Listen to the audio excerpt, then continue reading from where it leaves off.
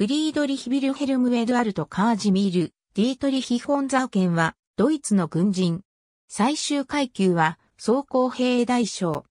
第二次世界大戦では、第四装甲師団司令官や、第三装甲軍団司令官を歴任したが、1945年5月に赤軍に降伏し、以降10年間はソビエト連邦での捕虜生活を余儀なくされた。ザウケンはドイツ軍人最後の白洋、兼ダイヤモンド付け騎士鉄十字章受賞者である。コレーニウム・フリデルツヤーヌム・ディートリヒ・フォンザウケンは1892年5月16日にドイツ帝国東プロイセンのフィッシュハウゼンで生まれた。父のビルヘルム・エードアルト・エーリヒ・フォンザウケンは軍の軍長を務めていた人物である。ディートリヒはケーニヒスベルクの有名な中等教育機関であるコレーニウム・フリデリツヤーヌムに入学し、1910年に特別進学をもって進学資格を獲得して卒業した。在学中、彼は母のベルタ・ベストファールやフリーデリツヤーヌム院長のゲオルク・エレントによる支援を受けながら芸術分野での才能を発揮した。芸術家になりたいという野望を抱いていた。彼は表現派の芸術家が集う日展芸術共同体を目指してしばしば日展を訪れている。コレーニウム・フリデリツヤーヌム卒業後の1910年10月1日にプロイセン王国陸軍へ士官候補として入隊した。入隊後はケーニヒスベルクを拠点としていた第一師団の第三敵団兵連隊、ケーニヒ・フリードリヒ・ビルヘルム一世に配属されている。1912年6月19日に少尉へ昇進。1914年に第一次世界大戦が勃発すると第一師団は東部戦線に赴いた。ザウケンは師団と共にシュタルペーネン、軍便年、タンネンベルクなどで戦い、1914年10月に二級鉄十字章1914年賞を受賞した。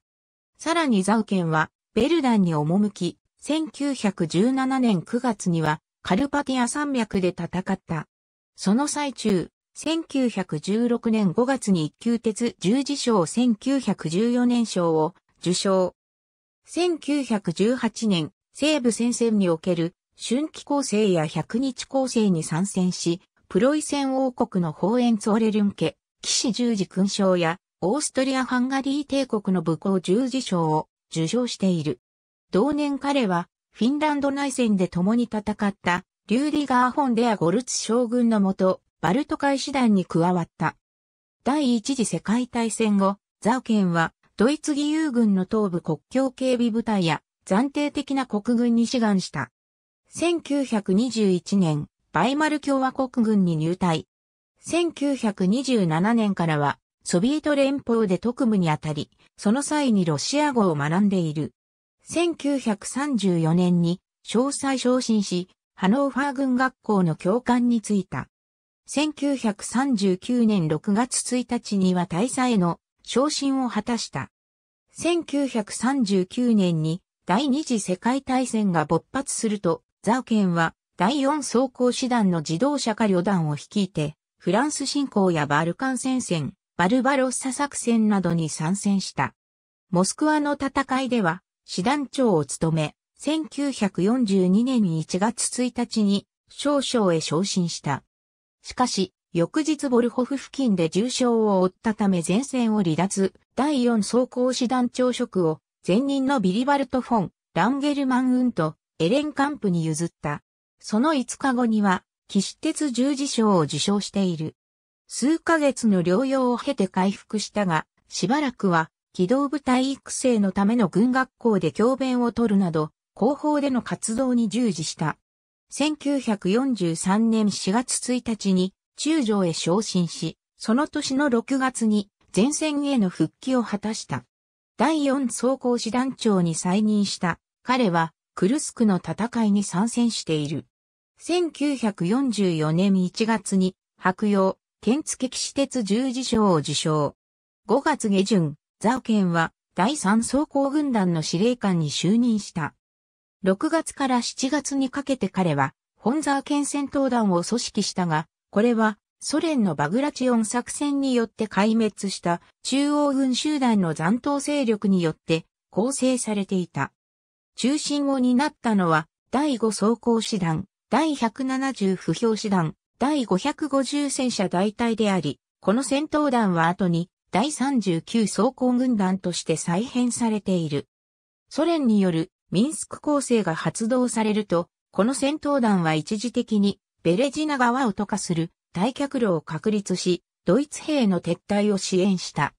1944年9月下旬からは、グロースドイッチュラント装甲軍団の指揮を取るようになり、10月中旬に第39装甲軍団の司令官をカール・デッカーと交代した。グロースドイッチュラント装甲軍団は組織されてまだ間もなかったため、ソ連によるビスワオーデル構成が開始されると、それを食い止めるために軍団は二分された。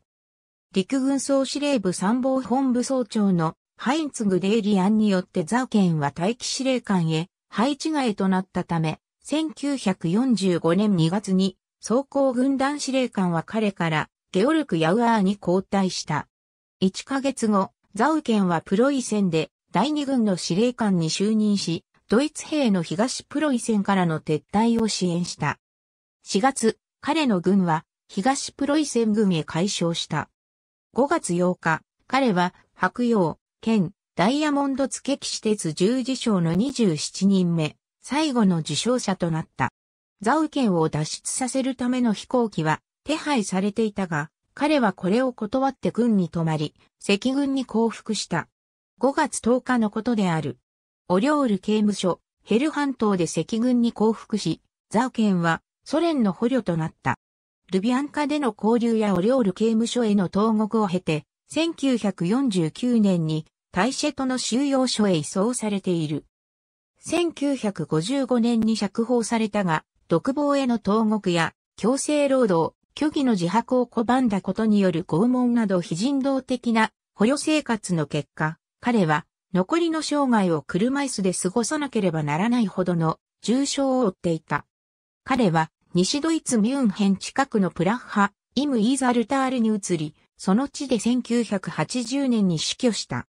ザウケンは、長剣とモノクルをいつものように身につけていた、騎兵将校であり、ナチスによる褐色の修具政治を軽蔑する、典型的なプロイセンの保守的貴族とみなされていた。第二軍司令官に任命された1945年3月12日、アドルフ・ヒトラーのいる司令部へ出向いた。彼は、左手を何の気なしに、騎兵刀へ添え、モノクルをはめ、軽く会釈をした。一度に三回もの不敬を働いたのである。彼は、ナチ式敬礼も、ハイルヒトラーの発生も行わなかった。7月20日事件以降、陸軍でも、ヒトラーへの忠誠が徹底された中にあっても、彼は、剣もモノクルも外すことなく、ヒトラーと接している。ある時ヒトラーはザウケンに対し、ダンツヒコールベストプロイセン帝国、大管区指導者だったアルベルト・フォールスターの指揮下に入るよう命じた。ザウケンはヒトラーを見つめ返し、マップテーブルの大理石製の天板に手を添えながら、私に大管区指導者の命令下に身を置くなどといった意思はありませんよ、ヒトラーさん。と言い放った。彼は、ヒトラーの命令をぶっきらぼうに断った挙句、彼のことを我が総統とは呼ばなかった。